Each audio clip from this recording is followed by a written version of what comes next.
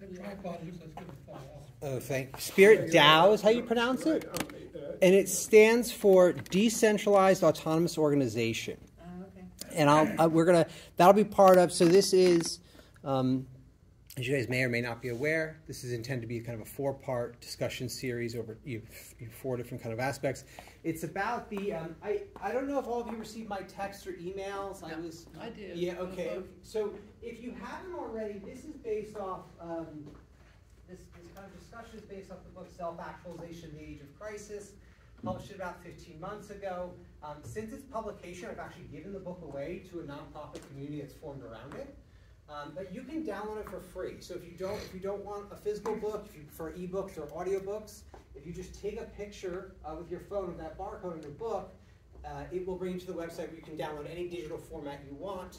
Um, if you want a physical copy, you, you can download on Amazon or, or get one there. So, um, with that note, I'm just going to bring up my notes. We'll kind of dive in.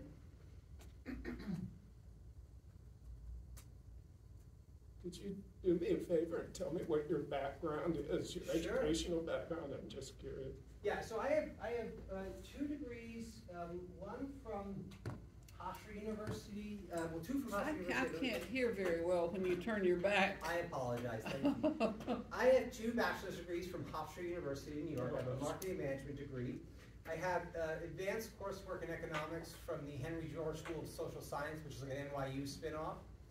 Um, and in my past efforts, prior to kind of finding myself here, I, in my early 20s, I was a founder of a Web2 company. I was a CEO for eight years. I ended up getting acquired. I then served as an executive director for a 501c3 nonprofit in New Jersey. It was a civic technology nonprofit. We built uh, software for local municipal election contests uh, to kind of engage deeper participation.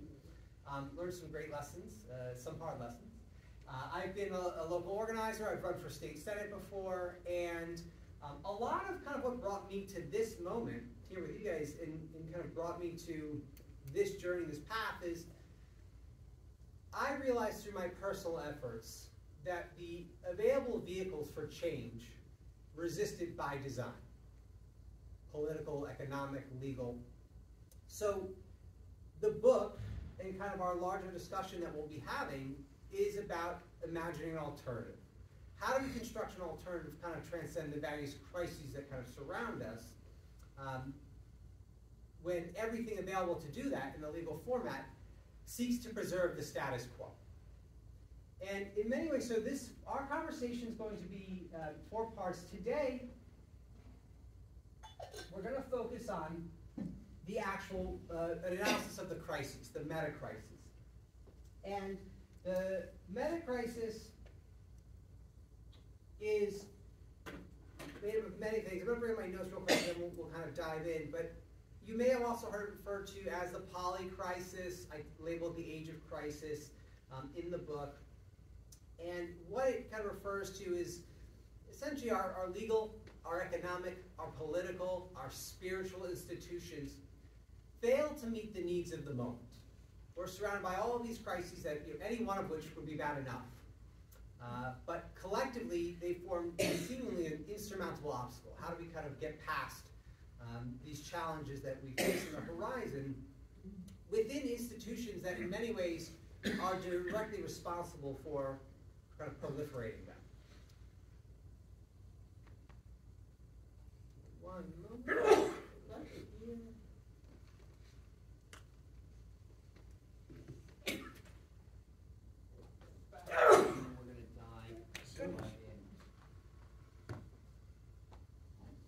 Okay, so So just as a quick kind of summary, let me get this.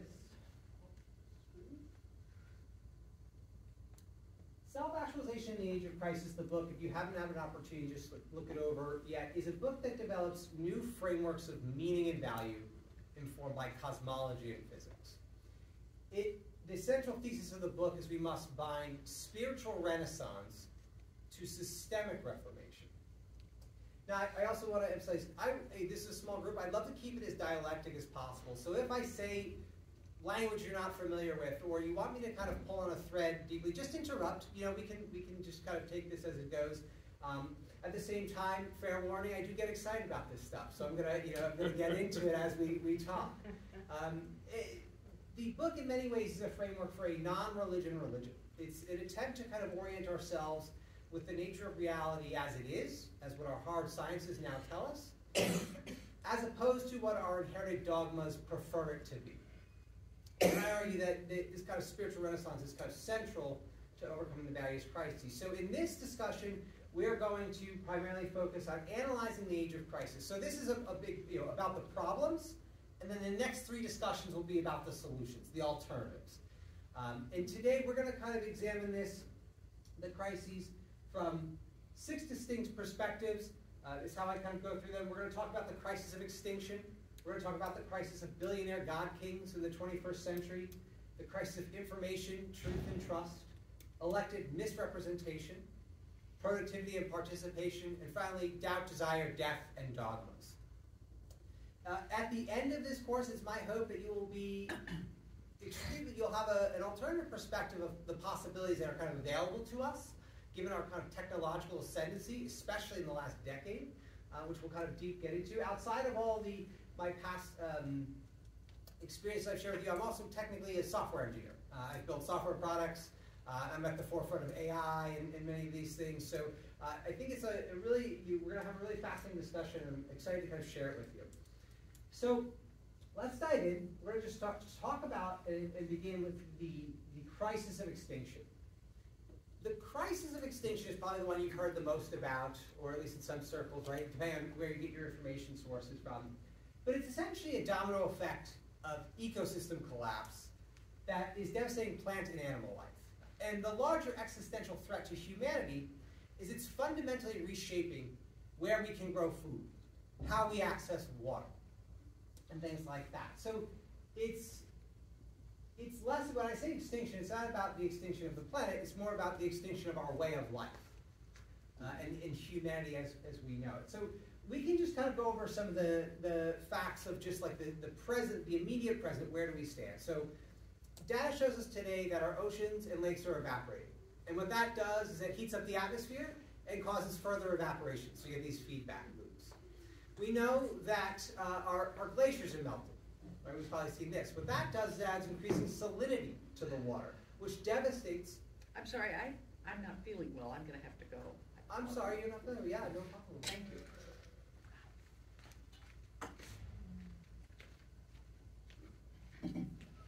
So what the additional salinity does is devastates marine and, and animal life. We have lost uh, more forests in the last 100 years than we did in the past 9,000 years combined. Our deserts are expanding. And uh, so all of this kind of positions, it, it, completely kind of reshapes the trends of where food is going to be able to grow. Not only that, this is a fun fact. Since 1960, natural disasters are occurring at a rate of 10 times more frequent today than they did over the last 60 years. So an order of magnitude increase. So I think when we think about the crisis of extinction and the ecological changes that have happened, it's not just food and water, but it's also the kind of mass devastation events. And I think you speaking as someone who lives in Florida, this is something that's on the top of my mind. What happens when we have a hurricane category six? Right? Something we've never seen before, and the infrastructure damage that kind of creates. So the crisis of extinction is, is kind of this kind of cascading effect. Another key note about the crisis of extinction is it disproportionately impacts the poor, indigenous communities, and youth, those young and not yet born, right? They're going to inherit these circumstances, these crises, that they had no say in crafting, um, that are going to permanently alter their way of life. We're also in the middle of the sixth major extinction. The, so 70% of surveyed animal life is expected to go extinct. The last major extinction was the Cretaceous period the distinction, extinction of the dinosaurs. So to kind of give you a scope of the, the scale of death and animal die-off that is occurring in our immediate present, right now. Now, the, at the center of the crisis of extinction, kind of when we think about the, the impacts this is going to have, it disproportionately places the burden on people based on birth lot. That is to say, if you were born, let's say, in abject poverty, if you were born in a, a country that is not as industrialized as the US, you are going to bear the brunt of these crises, uh, again, despite having no, no, no active participation within them.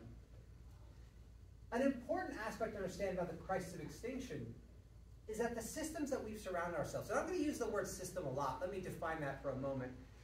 A system is any technology, it can be economic, legal, political, social, religious, that governs the relationships between two or more people. So it's a very blanket term, right? So I say systems, it's, it's many of the creations we've kind of surrounded ourselves with. I think at the core, the central challenge with this is they continue to perpetuate. The knowledge is there. No one is unaware, especially kind of like national and global leadership, of the severity of the crisis. But as an example, um, the U.S. is now producing, in 2024, the U.S. is producing more oil than we ever have in our history. Under Biden's administration, we've already issued over 6,000 new oil drilling permits, many on nationally protected lands. So despite this information, global leadership continues to do the very thing that is driving us towards a crisis, right? I think all of us understand one of the first ways to get out of a hole is to stop digging. Uh, but collectively, we have not stopped digging. We keep moving forward uh, with the very actions that are kind of bringing them. Not to mention, we've been, the, the global state has been essentially a global state of war now going on about 23 years right? It's been perpetual, it continues to go on. War is a for-profit business, and I think many of the challenges, and we're going to talk about the systems that we've inherited, but much of the struggle is that we limit our possible solutions to a very dogmatic approach about markets. Right? We say that we have to solve this, but we, we can only solve it through markets. But not all markets, only a single market order. And that's central to kind of the, the U.S. being a global leader in this kind of movement here. So all of this kind of gives us the context of the large-scale crisis of extinction that is continuing to worsen, continuing to compound, and most importantly, global leadership is not choosing not to take the appropriate action to change it.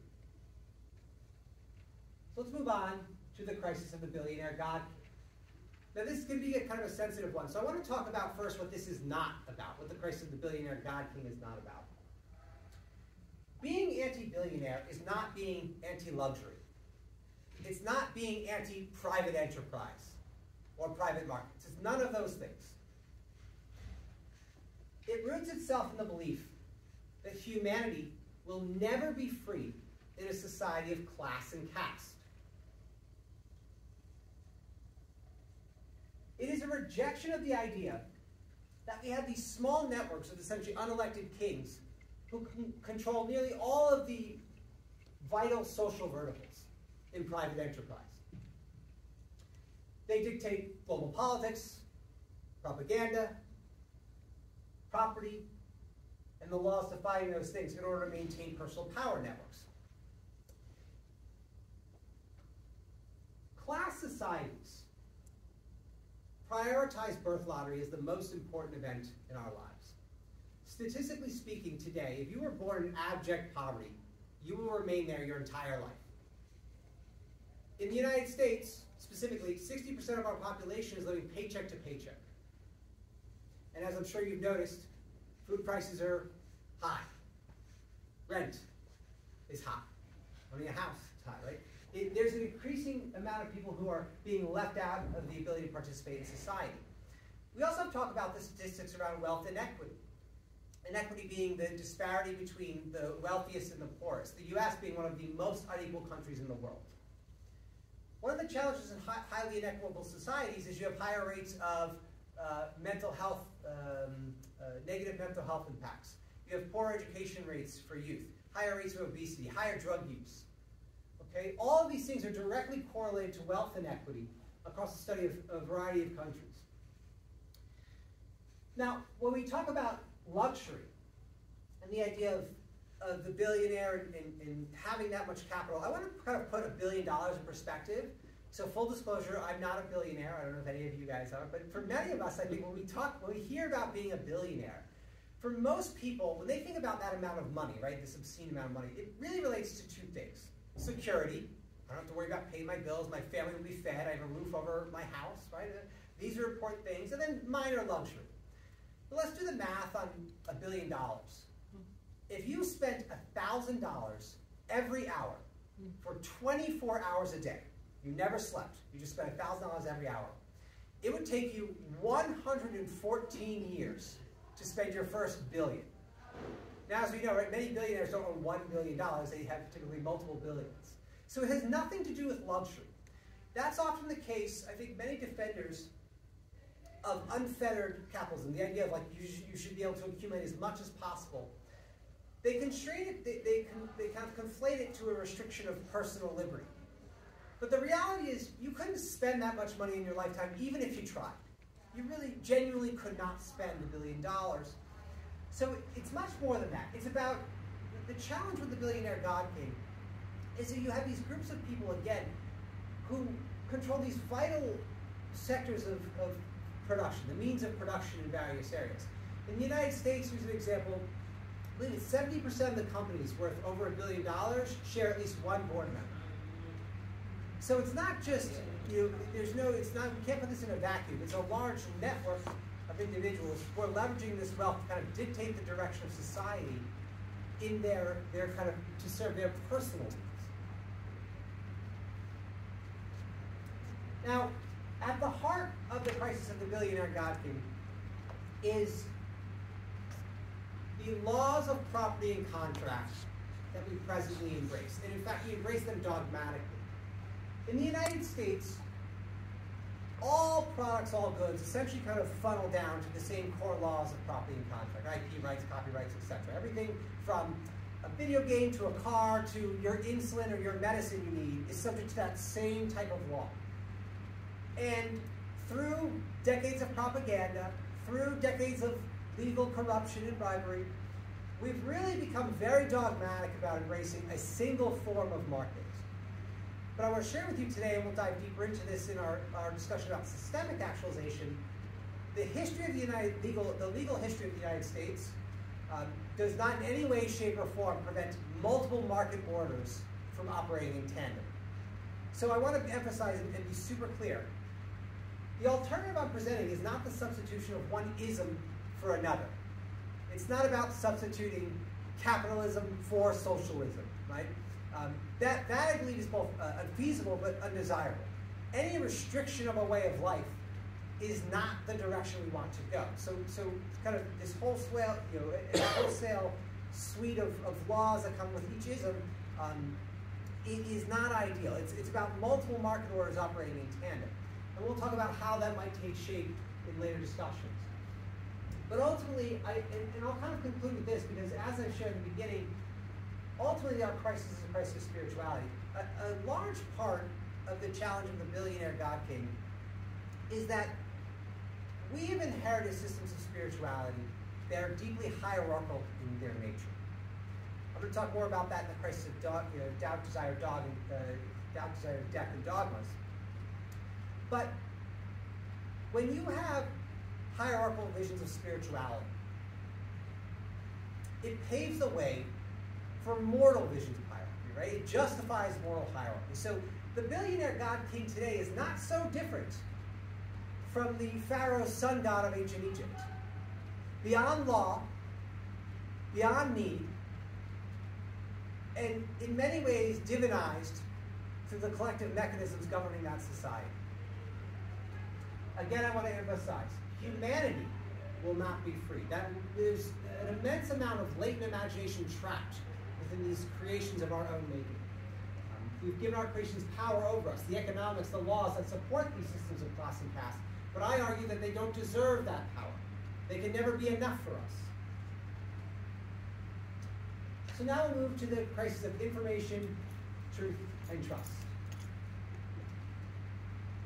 The crisis of information, truth, and trust is based on the idea that the highest form of cooperation in society today is transaction. So what I mean by that is the most frequent interaction you have with another person, most especially people you don't know, is to transact. The challenge with transaction as the highest form of cooperation is it perpetually puts us at risk. The very nature of transaction is I want to extract as much as possible while giving the least. So it always puts both parties at risk of being taken advantage of. Now that, as a fundamental grounding for society, diminishes our trust in others, it diminishes our trust in our institutions, it diminishes our trust in ourselves. One of the reasons I think you're seeing a large, a growing amount of unrest, especially, let's say, amongst the millennials and below, is that money is a core social glue. It is not enough to keep people bound together around shared purpose and vision after because ultimately, a consumer society is based on the fact that it preys on your desire and doubts. It's never enough. Now,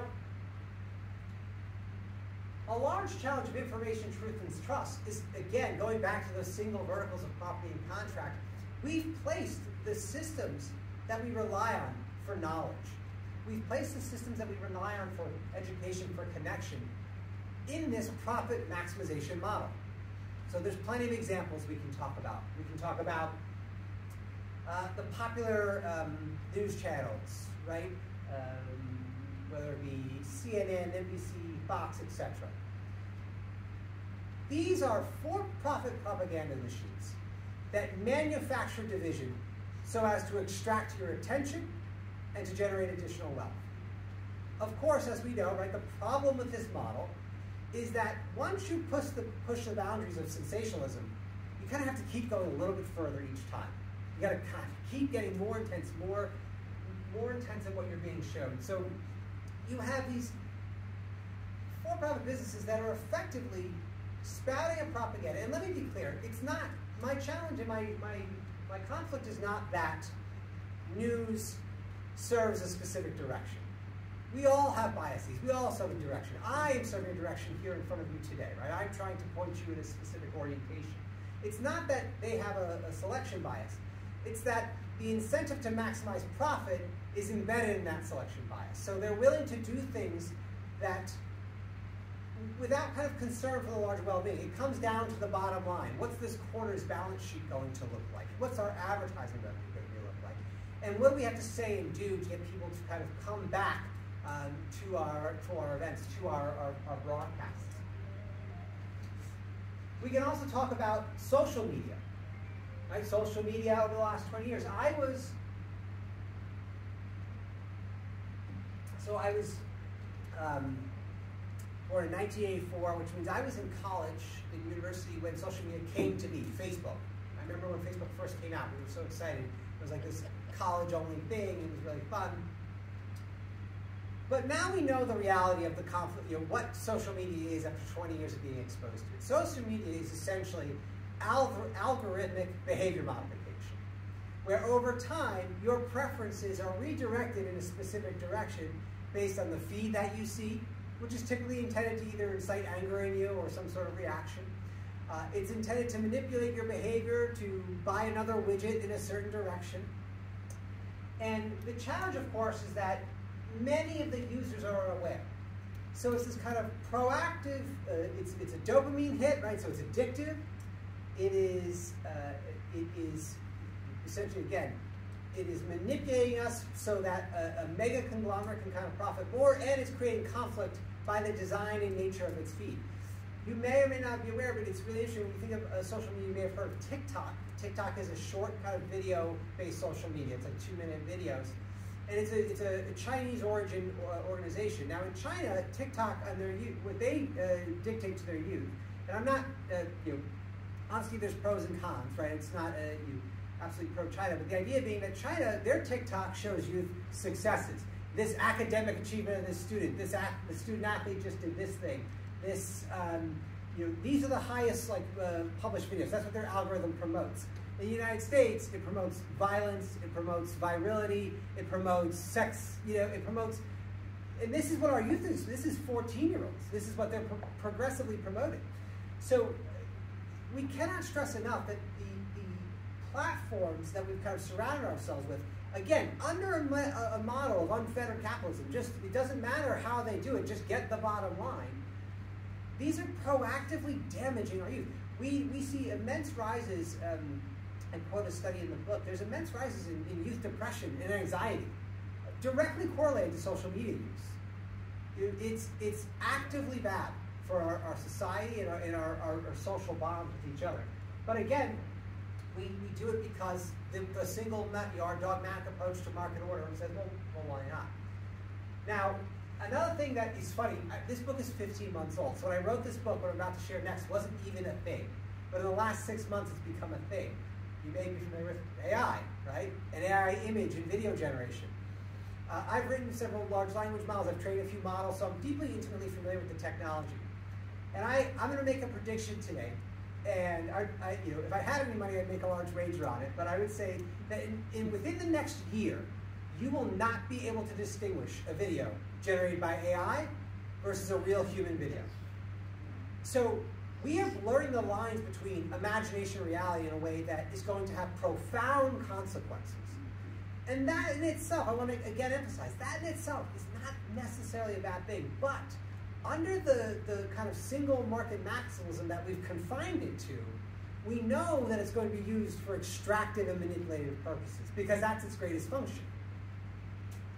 So I think when we think about the crisis of information, truth, and trust, we're kind of in this emergent place where the, the world is changing so rapidly and so fast, exponentially in, in you know, the infinite directions, that we're losing faith in our institutions, ourselves, and others, and, th and that presents a genuine crisis when it comes to how do we kind of collaborate to solve these problems when we can't even tell what is real and what is not.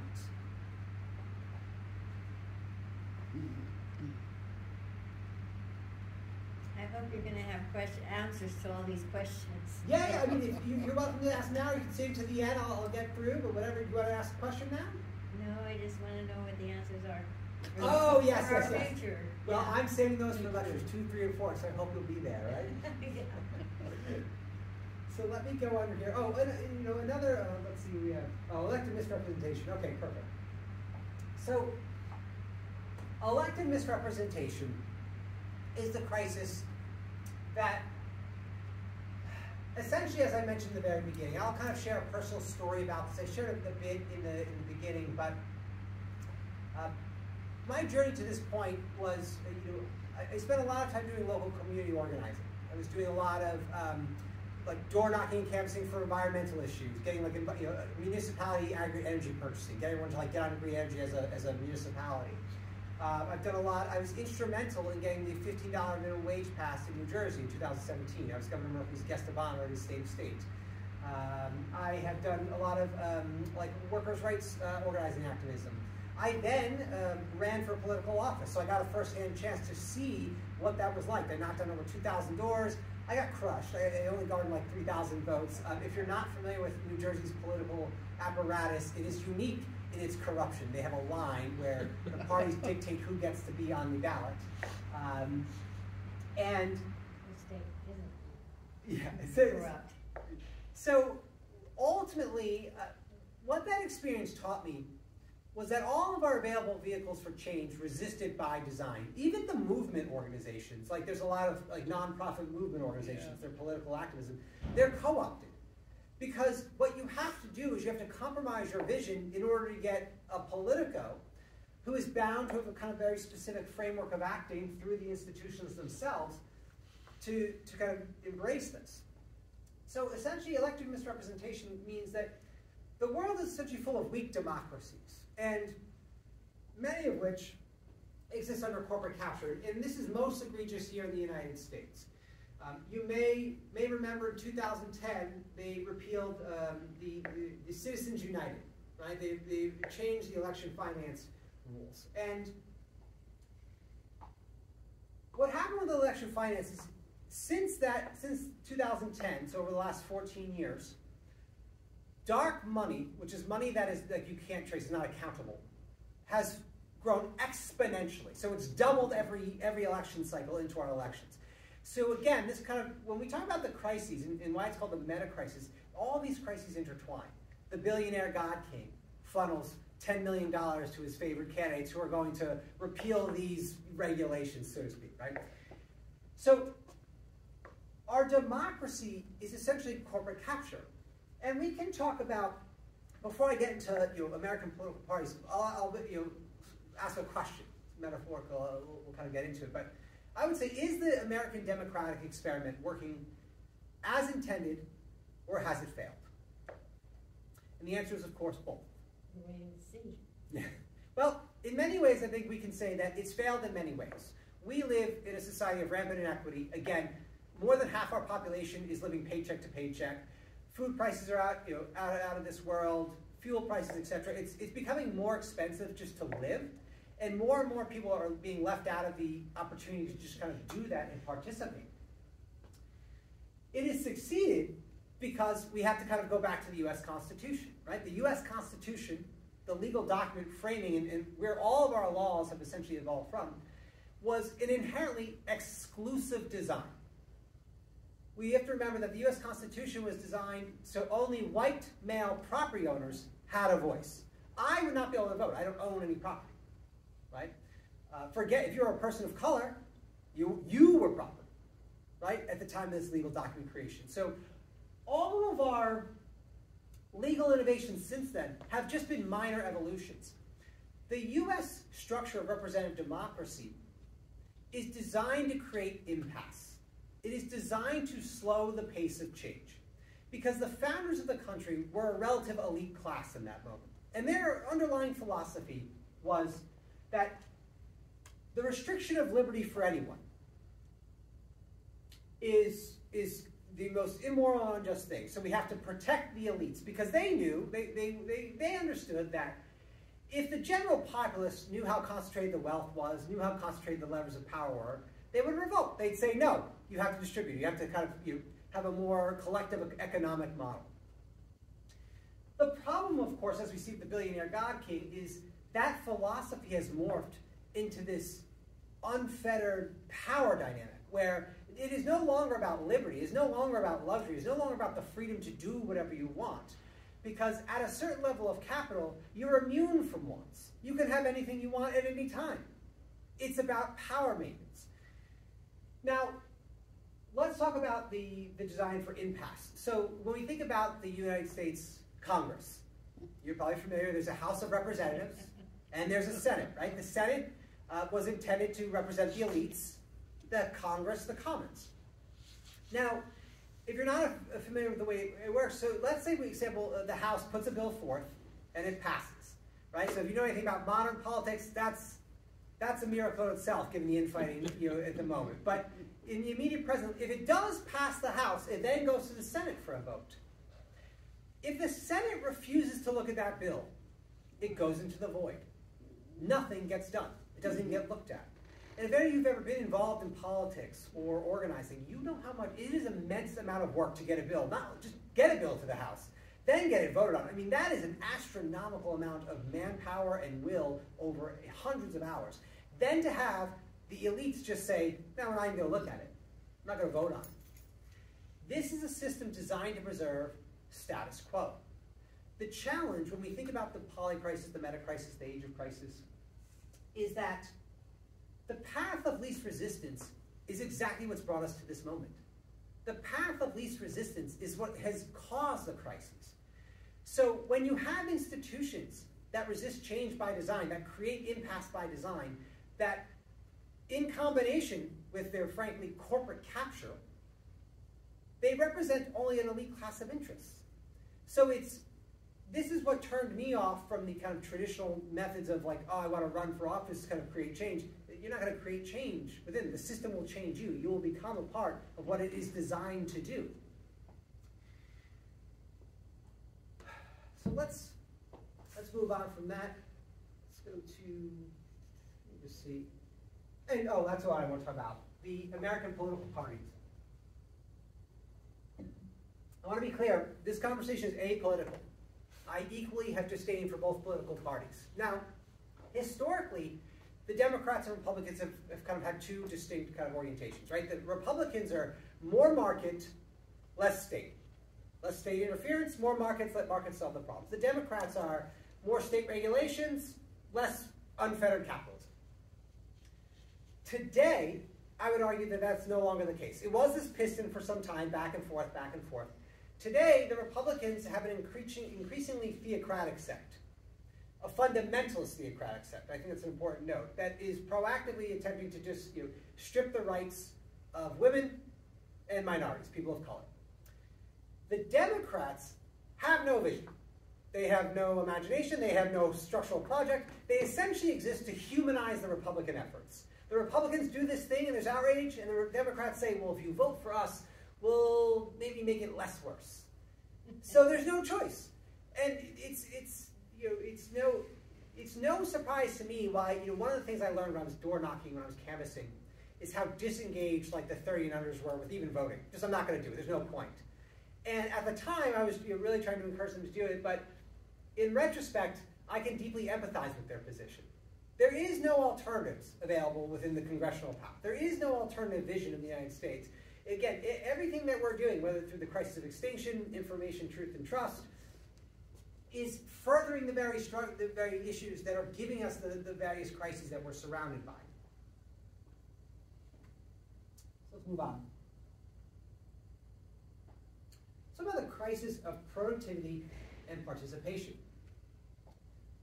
So the crisis of productivity and participation is a misalignment of our traditional understandings of labor and participation in parallel with our evolving collective consciousness as a result of our technological ascendancy. That's very fancy, right? Essentially what it means is technology has connected the world intimately.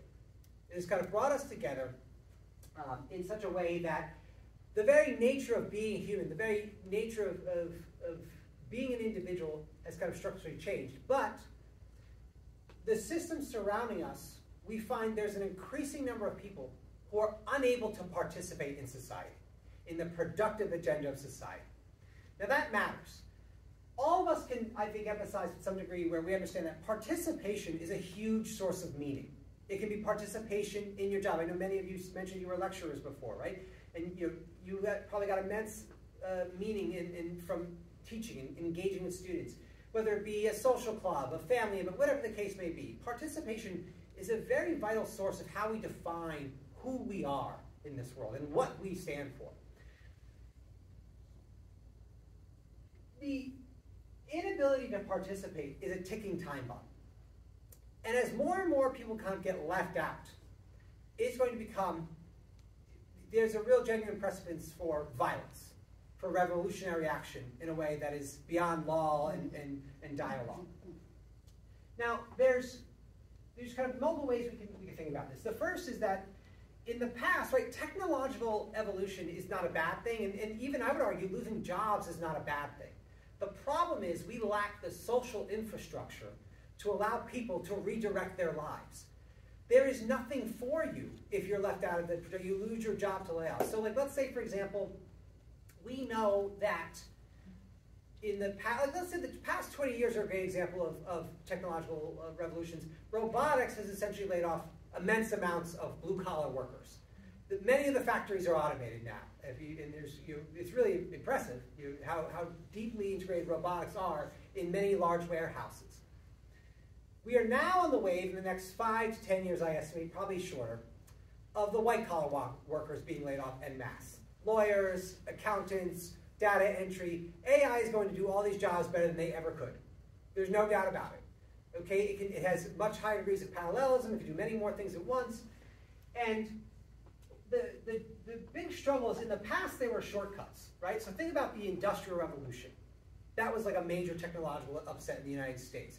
You had the majority of the population that was doing sustenance farming. They were farming just enough to feed their families, and that's how they lived. All of a sudden, you have industry, you know, coming, you have machines being imported, lathes, etc. It was very easy. There was a shortcut. You could take a farmer and say, go in this factory and pull this lever for eight hours. Don't move, pull the lever. And they wanted people who were essentially smart enough to pull the lever, but, but not smart enough to, to ask how they got promoted, right? Like that was essentially what they desired. The challenge is the most advanced form of production today is what we, I would call the knowledge economy, right? This is a, a, a type of work that allow that needs people to do a, a specific thing without having to conform to a specific way of doing it. So think about a software engineer. I need to build this product. I need to build this thing. But I can build it any way I want. I am writing that code. And I, my, my partner, my wife is also a, a, developer. We can both write the same software and it'll be two different code packages, right? It'll be different. It'll do the same thing, but we might write it in different ways. The challenge with that type of work is that it's A, it's imaginative. B, it relies on dialectic. It relies on being able to communicate with the other and really kind of express ideas. And it requires a high degree of you know, the ability to kind of learn. Um, you know, a, a, a, a, a, recent conversation with some, some old colleagues, you know, there was layoffs at a company I was at, and they were kind of really struggling with their place in the world, and I tried to express to them that we don't get paid, as someone who works in the knowledge economy, this is how I genuinely feel. I don't get paid for what I know. I don't get paid for the hours I work. I don't get paid for that. I get paid because my capacity to learn and then implement those learnings in a specific direction. That is what knowledge economy work is. How quickly can you orient yourself to the problem and then solve that problem? The challenge is there's no shortcut. You cannot take a factory worker, put them in front of a computer and say, write me some software. Right? You can network my infrastructure. You can't do that. It takes decades of, of training and learning and, and AI is making that, it's shortening that gap. But even knowing how to use AI is a skill that is, is not easily taught. So we lack the shortcuts that we've historically lacked, so it's not the same this time. And I think that's, that's really, really important when we think about the, the crisis of productivity and participation. Let's see what's next. Let's go to, oh, there's one other thing. Uh, there's a, a great, um, there's a, you may or may not be for, uh, familiar with the term Web3. Web3 refers to a, a community of, of, people developing on what we call blockchains. Blockchains are a, a, software technology, they're a ledger. Think about an accounting book. Okay, but what a blockchain does is it automatically records any, any interaction between two people. So if you're transferring money, if you're committing to do work, you can like commit to do work and then the pay, you can put money in escrow and, the, and a smart contract will then pay you. And in that, in that space, there's a big fan, there's a big, um, there's an article by a, an individual named Scott Alexander called Meditations on Moloch. Moloch, if meditations on what? Meditations, like meditating. Meditations on Moloch, M-O-L-O-C-H. Moloch is the god of discord from the ancient days. Okay. Sacrifice. Thank you. And the challenge that Scott writes, but he writes about it's a long article, but what I find most fascinating about it is that he talks about how systemic incentives lead to outcomes that nobody wants. So let me give you an example of that. The capitalist systemic incentive. Produce, right? It's, capitalism is great at many things. Innovation, production, imagination. It's also great at polluting the rivers. It's also great at dumping waste where it can put it.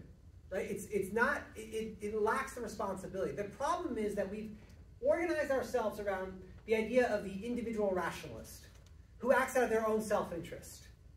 Now, I disagree that, that the majority of individuals only care about their self-interest. I don't think that's accurate, but that's how we've organized society. And because of that, because we've organized our law, our economics, and our politics around that, that visualization of who the individual is, we've produced a society of incentives that are perverse, that harm us in many ways so that you know, it harms the collective so that you know, a few may benefit immensely. And that, I think, is part of the, the crisis of, productivity and participation. Many in the Web3 space would argue that coordinations are our biggest challenge of, of the crises. I would disagree. I'd say that the frameworks of meaning and value we embody are, are kind of define our coordination. You know, one thing mentioned about systems, but I do want to talk about, I, I believe that all systems bear the moment of the imprint of their creation in two distinct ways.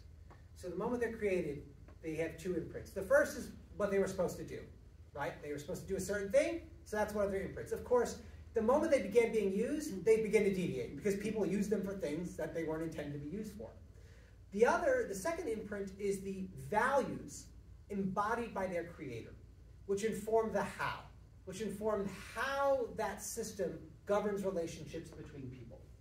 And in many ways, again, we've inherited systems that have a deeply hierarchical vision of divinity, of spirituality, of humanity, that kind of is perverse. So we're going to get into our, our last uh, crisis of the, the day, doubt, desire, death, and dogmas, and we'll open up for some, some discussion.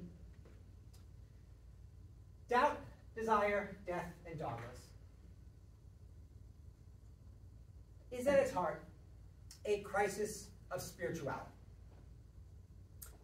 It represents the, the need, we have to develop new answers to old questions to overcome the various crises we're surrounded by. Because everything about our current trajectory only leads us further towards oblivion. And it's, it's really kind of highlights a paradox of the age of crisis, of the meta crisis. The idea of systemic actualization, which I'm going to dive deeper into in the, in the upcoming lectures, the idea of kind of how do we organize society to kind of maximize individual access and agency. It requires a certain amount, systemic actualization is done so that we prioritize individual actualization. We elevate the individual. We maximize their capacity to act within the moment. But it requires a certain amount of individually actualized people to, to realize. So it's kind of nowhere to begin with but the end, which is why I argue that uh, the spiritual alternative is, is central to kind of overcoming these problems. Now, doubt so this is a matrix I made. You don't necessarily have to read it. I'm just throwing it up there. This is essentially doubt, desire, and death, I would make the argument, is what all religions historically try to solve. These are the three questions. It's, it's the unknowable unknowns of these three questions, of how we kind of grapple with these in our daily experience. Now, each of these, this is kind of an analysis. Again, you can look at it. You know, I'm not going to talk too deeply about each of them. But doubt is groundlessness. The idea that through a lifetime of conditioning, what we do is never enough. We never feel at home in our place in the world.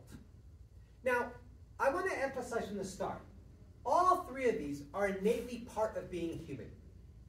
And I am not making the argument that transcending them is feasible or even desirable. The challenge is that doubt, I can send this to you guys, you don't have to take a, I'll, I'll make sure I'll email before the end of the, uh, the day. Thank you. Doubt is, the, the struggle with doubt is that it's perpetuated by the institutions we are surrounded by. Right? You guys have probably heard of um, the phrase, keep me up with the Joneses, right? My neighbor has this new car. I feel like I'm not as special as him. I don't have this new car, I need to buy this new car. So everything about this kind of consumer society encourages doubt in our actions. It, it drains meaning from our activities because we're perpetually concerned about are we enough? And is it enough? Am I, am I, is what I'm doing enough? And that's a major struggle.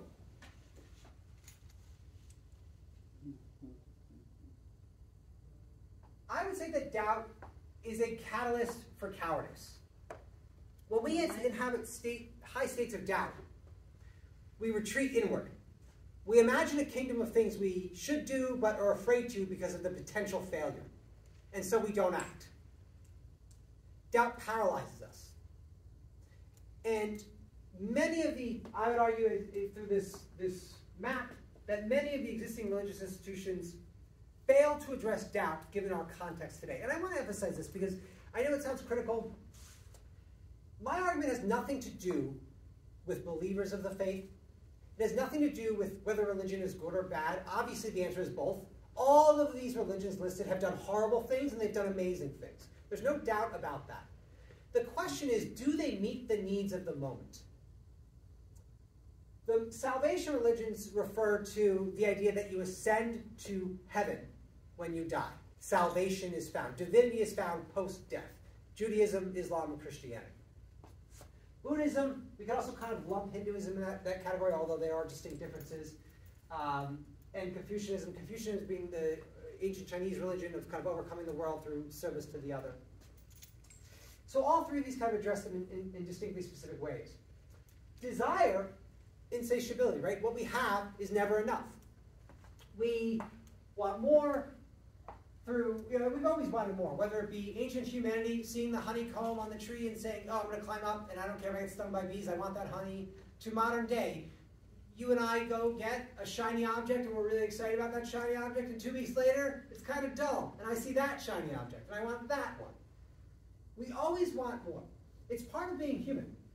And the, the challenge is, is it plagues our, our kind of very nature of choice. Now, you may have heard one of the popular, you know, Buddhism has the Four Noble Truths, and one of the Four Noble Truths is desire being the root of suffering. Right? The idea is to kind of eliminate desire to kind of eliminate your suffering. I make the argument that, that again, you're not going to eliminate desire, but what we can do is we can, through the cultivation of individual practice and orientation of beliefs, reduce our projection of expectations onto the moment. I'm going to talk about, in our next discussion, we're going to dive deep into the cosmology of physics, kind of grounding our alternative spirituality. But in many ways, I'll, I'll begin that we kind of inherit this moment. Here we are. All five of us here in this room, and the past is inaccessible, future's unknown, and we kind of have to act with the information we have in the immediate present. And so where we become most frustrated with desire is we end up, we, we want the moment to be this thing. We want to make it this object. It's not this object, and that frustrates me.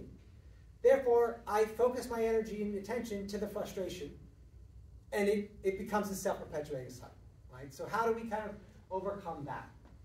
And finally, death. Death strikes at the heart of the religious project, the spiritual project.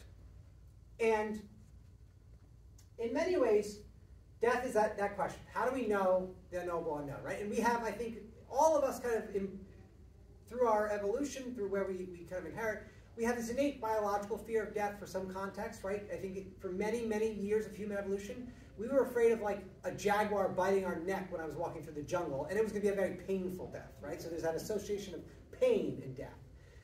Another big fear of death is consciousness in the void. What happens if I die and there's nothing? And I'm aware, but there's I don't have senses, right? That fear of oblivion. That is a, an immense fear. And each of the, this, the narratives have kind of constructed their own answer to death, some more compelling than others. I'm going to pick on the salvation narratives for a bit because they are the, the religious institutions that have had the most outsized systemic influence on global society. That is to say that the systems governing global society today were crafted by people who deeply embodied a salvation vision of divinity. The idea that we only know divinity after death. I will make the argument today that the very nature or the very notion of ascending to heaven is a hierarchical vision of spirituality.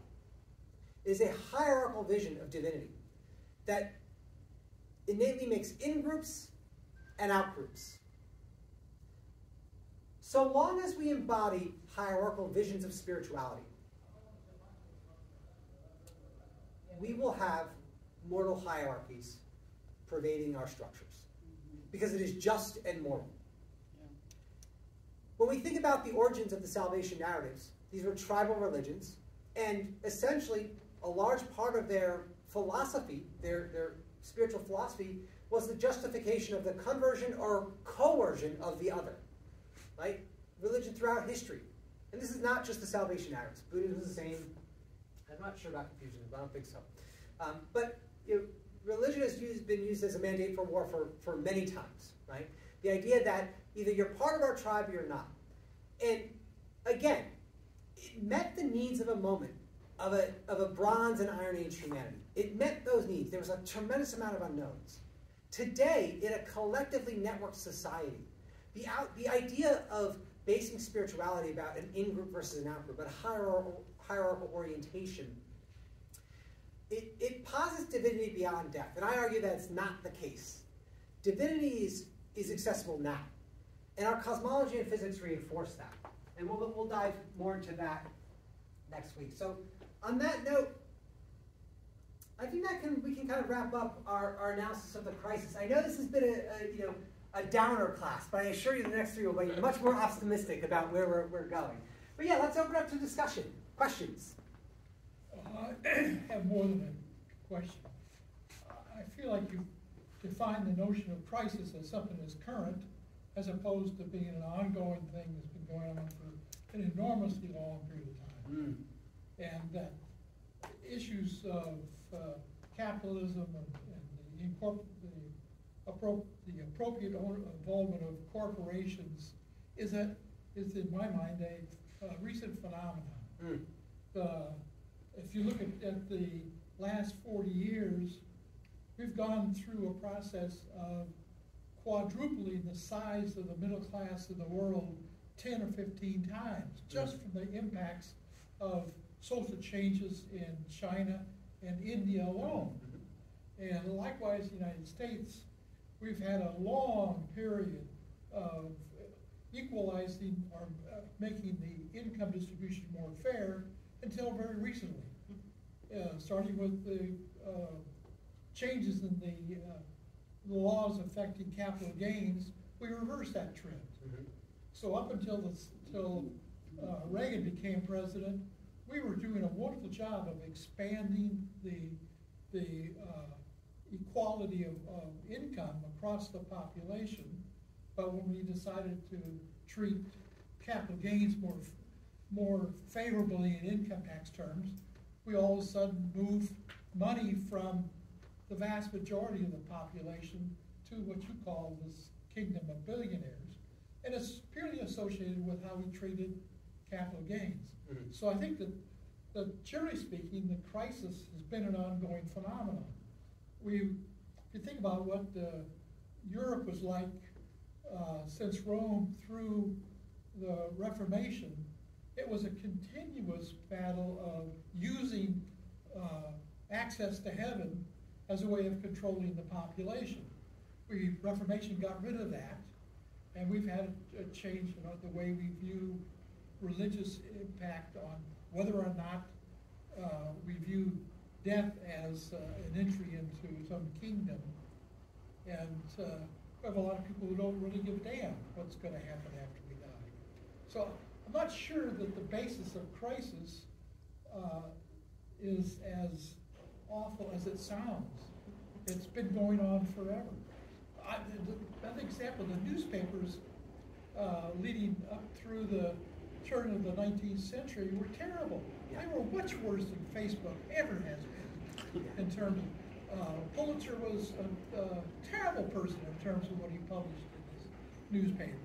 So I just don't feel like that is the basis of a crisis. Although people do feel like they're in a crisis, but we're looking at a very narrow picture of the world. Well, I, I would make two points. I agree with everything you've said in terms of it being, you know, we've inherited this moment. It, it isn't something that's just occurred recently. It's been a long time kind of in this trajectory. Reagan was 40 years ago, so it's some time, right? And, and, but at the same time, I would make the counter argument, we can only ever evaluate it from the immediate present. Here we are. And the present trajectory in terms of the trends of, let's say, for example, the environmental collapse, um, the disparity of incomes and equity. You mentioned global poverty reduction without a doubt, but as you mentioned, most of global poverty reduction has come from China and India, which is very much went through the same thing the US went through, that farmer to ind industry Right. transformation. So there's no doubt that there has been progress. The challenge is the, the scale of the crises we've now faced, let's say compared to in the past, let, you know, in, in the crisis of extinction being the most kind of in our face one. If, if where we can grow food and our access to clean water, drinking water, changes, that is going to crea create massive social unrest. The crisis of information, truth, and trust, I think I hear you what you're saying about newspapers, and I agree. You know, I have a, there's a, a quote in the book, I think from like 1917 complaining about the, the newspapers and, and how they're propaganda. But at the end of the day, the scale that they impact people today is far beyond anything they, they ever have been. So the, that, that our crises is an ongoing process, yes, I agree. And, and I, I mentioned earlier, it is the path, we've, it is the trajectory we've been on. It is the path of least resistance. The challenge is we can only go so, so much further before you start having genuine systemic collapse. You know, there's, if you, when we, I, I shudder to think of a world, say the United States, where, and this is already happening, right? There's communities in the United States who don't have access to clean drinking water. Um, I shudder to, to think when that crosses a certain threshold where people start to get violent. Uh, because th that is ultimately like the dissolution of the institutions when they can no longer sustain themselves. So I, I guess if, if we're not going to evaluate it from now, my only counter question would be, what would be the alternative? Yes, it's been happening. Yes, we know it's bad. But how else do we evaluate it from, from where we are in the immediate present? Well, I think that there is one crisis that we do need to handle. Yeah. That is what we're gonna do about the changing climate. Sure. If we continue to ignore our pollution of the atmosphere, it'll take care of itself, but it'll, it, in the future, may change who we are, For sure. eliminate us, and let some new life form come back in. But, um, it's a crisis to us, but not to the universe. Well, I would say that those are the same thing, and we'll dive deeper into that into the next kind of the next discussion about the orientation of spirituality that cosmology and physics provides us.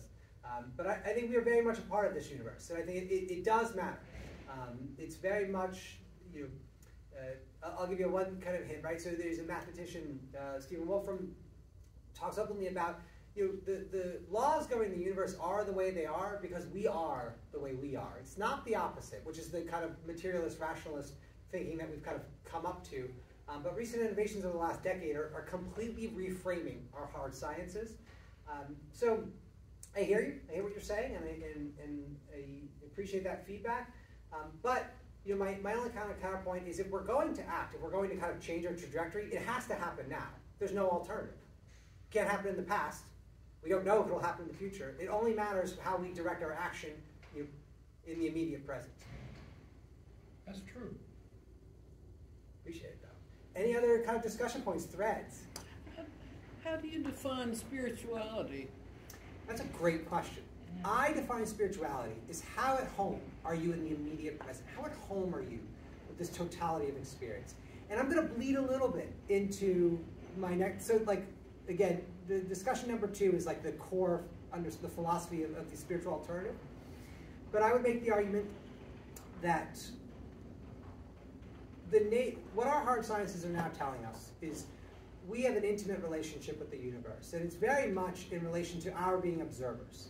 The observer and the totality of the circumstance being a kind of single totality of the moment. So for me, spirituality is how deeply at home are you in the immediate present? In, in the next discussion, I'll, I'll introduce the observable infinities, and uh, which are the universe and human imagination. And I'll kind of ground those in some science. And the alignment of those two represents divinity in the moment. So the question is, how do we maximize every individual's capacity to align those two things, to create, to become more godlike in the moment? Uh, so spirituality for me, and the kind of alternative I'm presenting is, how deeply are you at home in this immediate present? Because that's all it ever is. We inherit the now.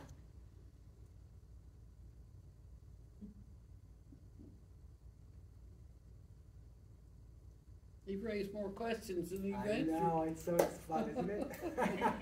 well, I hope you'll tune. I hope you'll see you next week because I, the next week will be, I, I promise you, a really fascinating discussion. I, I, we'll talk about a lot of concepts. I think, um, you know, the crisis. You know, I think many of you guys probably came in here with some inkling of you know, what these ideas were, and it wasn't necessarily a surprise when I said, "Oh, the environment is collapsing."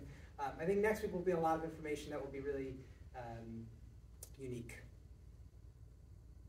I'm looking forward to that. Yeah, Yeah. me too. You're gonna send out your PowerPoint. Yeah, absolutely. I, I'll mail you I wanna look at that, that, the, uh, the Matrix. that map. piece that you had on, on, on the religions closer. Yeah, and I would appreciate feedback. You know, one thing, you know, in, in our third discussion about individual actualization, I uh, write about being an authentic imposter. Uh, and I want to emphasize to you that in the introduction of the book, I note this spiritual alternative isn't complete. Um, so one thing I, I kind of haven't mentioned to you is, but um, since I released the book, a community is formed around it. And we're in the process of incorporating a nonprofit, a 501c3. So um, it, we're actually, it's a, it's a decentralized community, and what we're doing is um, the community now governs and stewards the book, so they own it. All the profits that I've ever made from the book go to the community.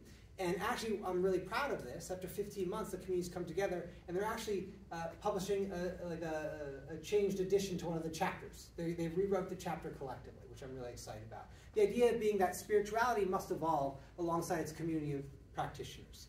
Right? I think many of the inherited religions, the challenge with them and why they don't meet the needs of the moment is that they're static in their orientation of beliefs. And what they attempt to do is they attempt to perpetually project the past onto the present. They attempt to reinforce past values and beliefs into our immediate present. Um, and that's what the structure is. And ultimately, with any of these religions, and I, I say this, and it's not meant to be offensive, but I, you can only embrace these with a selective hypocrisy. You choose these texts and you say, I believe these texts, I believe these passages, but I don't believe these. And the challenge is, let's say specifically with the salvation narratives, uh, okay, we can, there's, you know, we have a crisis in our immediate present that has deeply spiritual, you know, nature in it.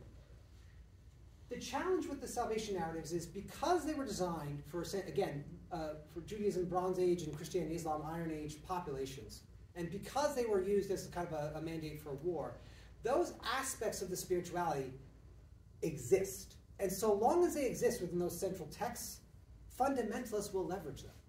So you cannot decouple spiritual warfare from these visions of spirituality so long as you embrace those texts because it's part of it. It's part of the very foundation of that spiritual project. And that's why I believe there's an alternative is necessary. Because so long as we have forms of spirituality that allow us to discriminate against others, to oppress others because they are not God's chosen, they are not us, they are not part of our group.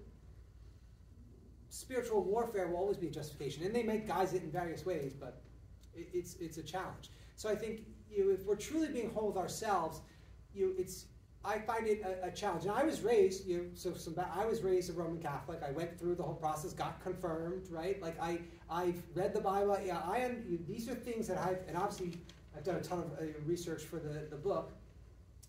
Um, but I've, I've really struggled with that. I, I, don't think there's a way to, to really embrace them with your whole self without, a, again, a selective hypocrisy. And the problem is there's no consensus on that hypocrisy. So different people pick and choose different things they want to believe. Um, so. Well, the, the question I'm dealing with now is our present crisis mm-hmm. includes more efforts of uh, people to actually kill those who change. In other words, if, if you say the wrong thing, then somebody's likely to kill you mm.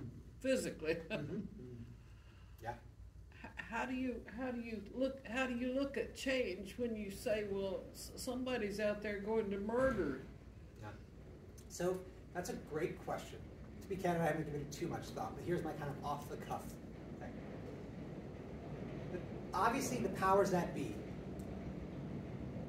if if they are going to eliminate someone You have to be very careful you don't want to make a martyr right and you can't kill an idea so the idea, you essentially, you have to speak boldly about change. I mean, this is in my humble opinion. Now, I, uh, one story I haven't shared with you guys, but I think it's relevant, especially to my conceptualizations of death. Um, I, when I was 22, uh, so right out of college, I contracted bacterial meningitis, which, if you're not familiar, is an infection of the spine that puts pressure on your brain. I literally was out with my buddies one night. The next night, I was in the hospital. I was in the hospital for four months.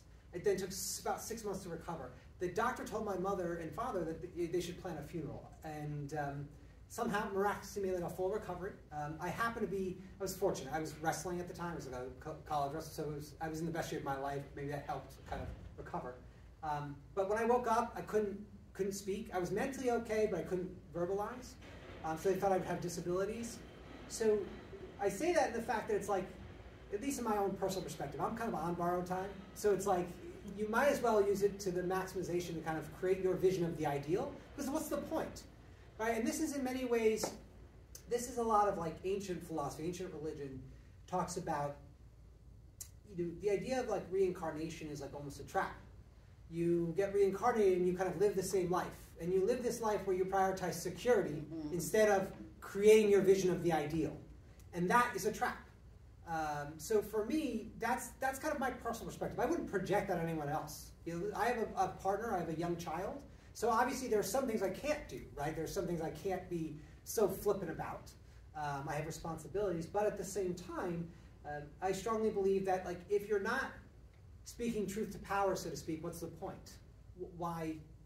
You, for me, it's not it's not enough for me personally to sit and play video games all day. That's not how I choose to spend my time. Right? As I know, many of you from your accomplishments I heard earlier, you've probably chosen a similar path. Right? Did you have a, a question? Well, I had a comment, yeah. but uh, one thing that worries me the most is the violence that is farming in our society now. Yeah. The violence, as, as Glenda said, you know, people just kill people if they, if they don't like what they say. Yeah.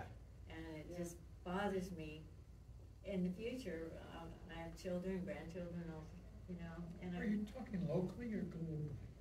locally, no, not, not here, Well, I I'm mean, I'm Not the talking about Every- everywhere. everywhere, In other everywhere. words, if, if you wanted to Violence. change something in Congress now, there, there might be somebody that would murder you. Mhm, right, It's happened.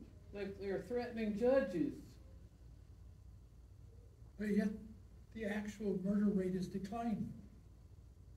well, but there's threats all the time. Oh, there's been threats forever. Of course.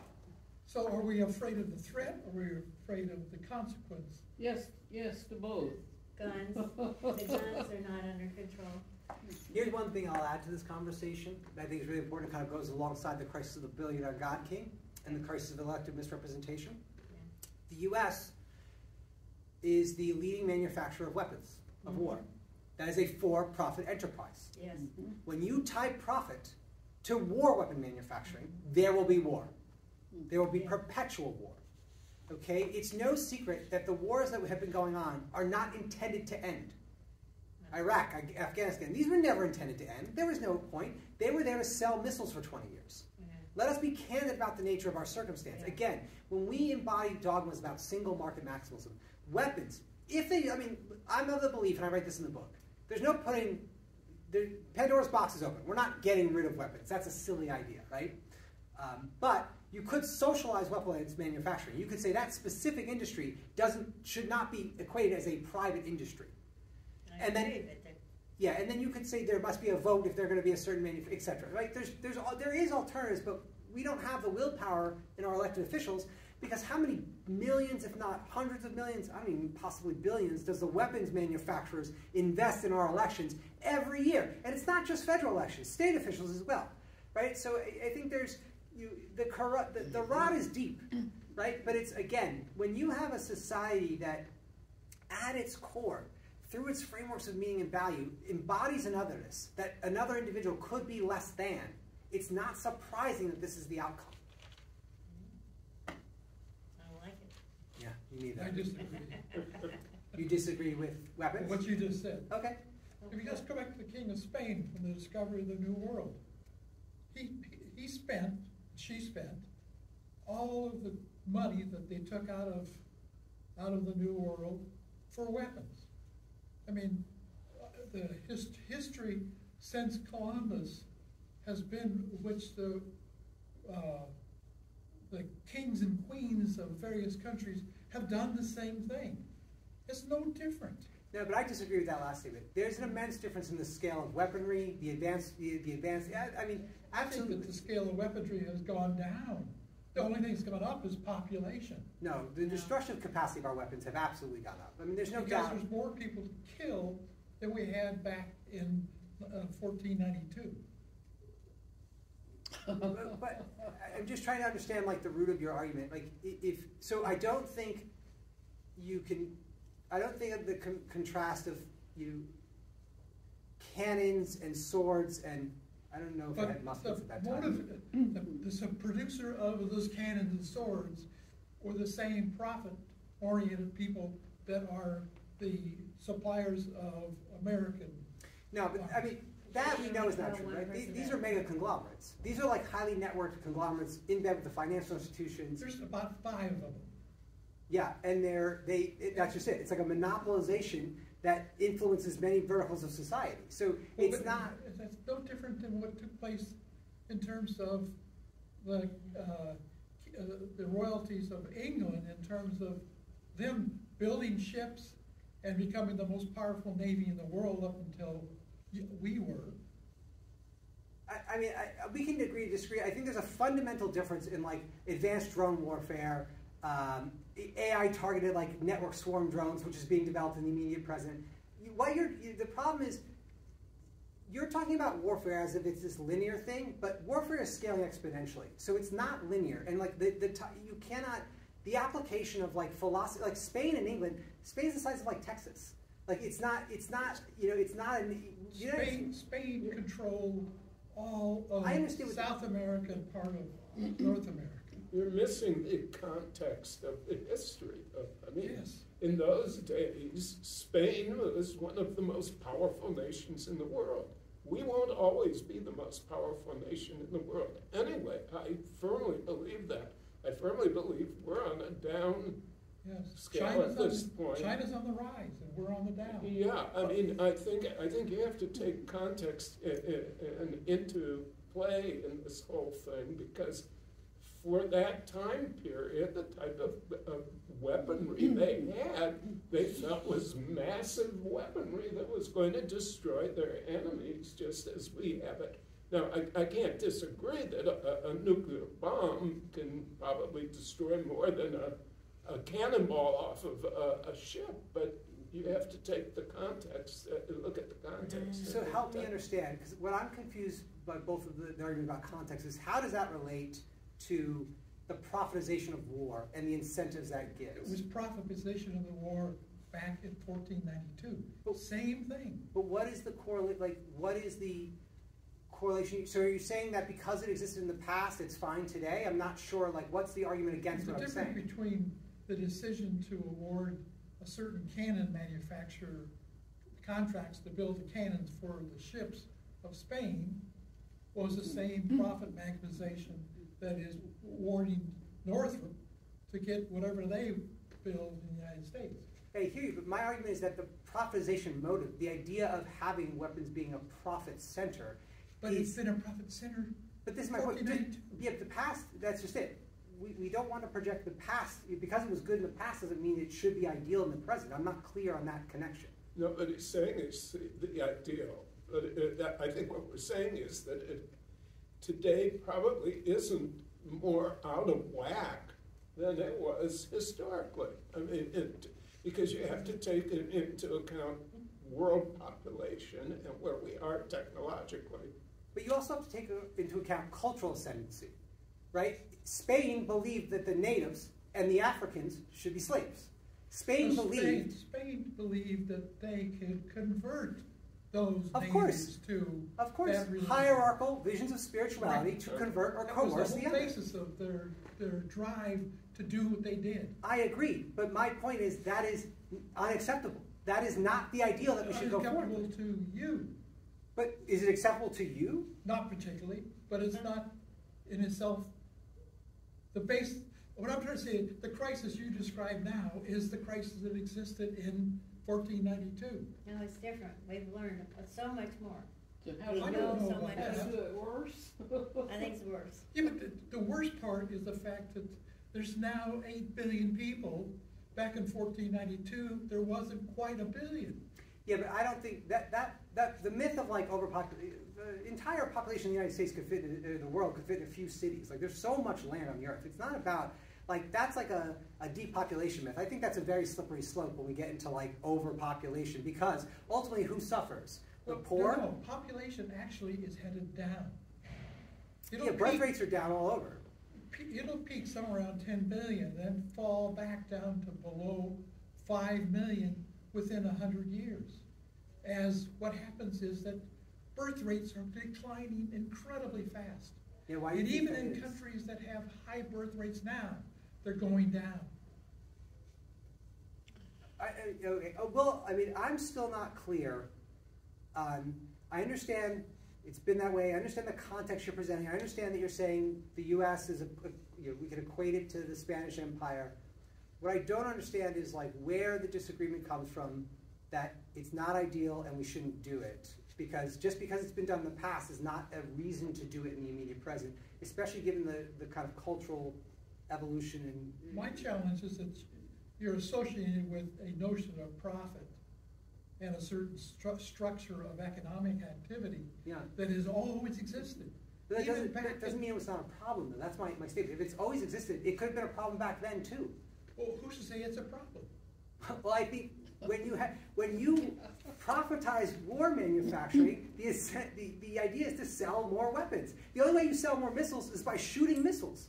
Well, then why does that not apply to production of food? Well, I think. Profit maximization is, is used to produce food. Well, I want to be clear. I also disagree with food being a, pri- a private vertical outside of uh, you. Well, I agree with basic foodstuffs being a, Well, a non-private. let's, well, let's take away, if you challenge that, then why, why is, uh, we allow Disneyland to exist as a profit maximizing?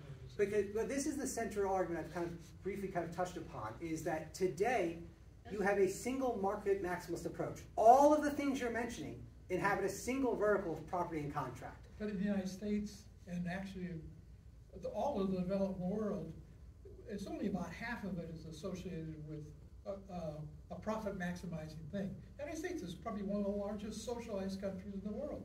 We have huge amounts of government-owned activity. The biggest power company in the world is the TVA. It is owned by the government. So I'm, I'm, s- I'm- I challenge your assumption that somehow profit maximization or the I love this. structure is associated with profit maximization. It's just not a true thing. I, I think, no, with all due respect, I think it's blatantly false that the United States is the most self- socialized country in the world. China obviously has a much greater social infrastructure, social support programs, all of these things. I mean, that's, that's Oh, evident. China has terrible social support organizations. Uh, we just have to like pause because I mean I, I don't want to like get too deep into it, but but that's not an accurate statement. The Chinese people aren't aren't living paycheck to paycheck, right? Sixty percent of their population isn't on poverty level. Sixty percent of their population doesn't like struggle with like food insecurity. Okay, that's where we are in our immediate present today in the United States. So I find it very difficult to take the argument that we're the most socialized country in the world Well, I challenge your argument that sixty percent of the United States is dealing with food problems. It's not true. Okay, I will bring in our next discussion. I will bring the, the journals to prove what I'm saying to you. It's in the book as well, um, but I'll, I'll, I'll happily give you that data, and then you can analyze it yourself. And if you want to conduct an alternative study, I've got a question about irony here. If you deeply believe that abortion is murdering something, sure. and you therefore, to cure the problem, murder the, the, the doctors who, who commit abortions, Yeah. Uh, to me, that's, that's endless. That's been going for, s- ever since the beginning of time, that Sure. kind of thing. Yeah, that's again, I, I would attribute that to the selective hypocrisy, right? It's justified to murder this person because they're, despite murder being against my central tenets, I can justify it By, by Be- murdering by murdering, right? Be- Because I'm preventing a murder. So that hasn't changed over the centuries. And Yeah, I mean, it- We've been able to sell indulgences forever. I'm not- is I- any of is any of that, that going to change?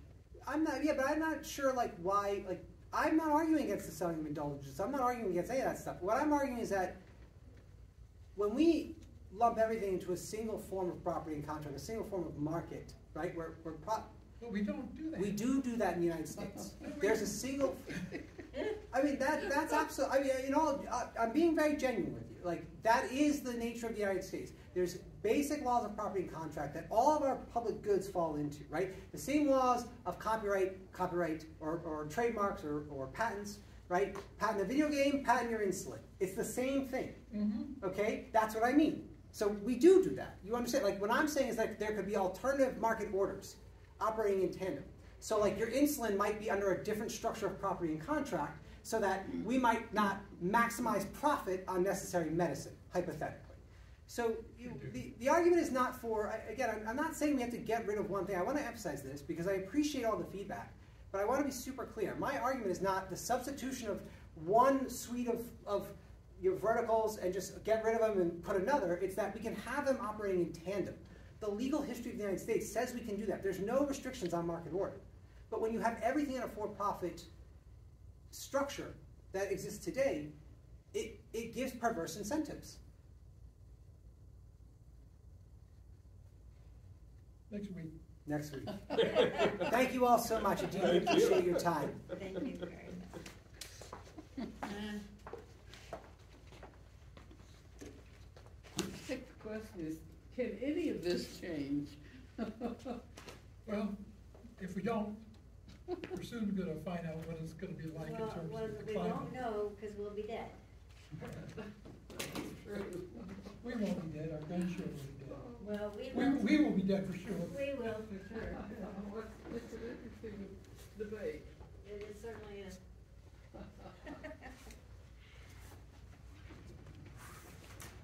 Okay, take care, everybody. Bye, nice to meet you.